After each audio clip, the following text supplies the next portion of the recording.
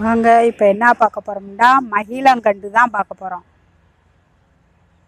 பாருங்க எவ்வளோ ஒரு நல்லா இருக்குண்டு. மகிழங்கண்டு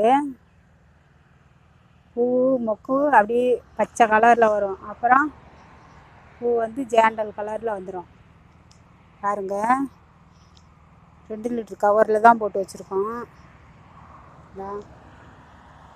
எவ்வளவு நல்லா இருக்கு பாருங்க.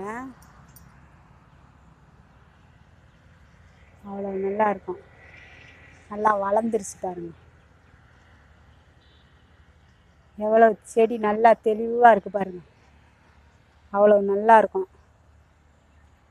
சும்மா ஆஃபீஸு காலேஜு ஸ்கூலு வீட்டுக்கு எல்லாம் வீட்டு முன்னாடி ஒன்று வச்சோம்னா அவ்வளோ அழகா கொடை மாதிரி வரும். நல்லா பூவும் வரும். அவ்வளவு நல்லா இருக்கும்.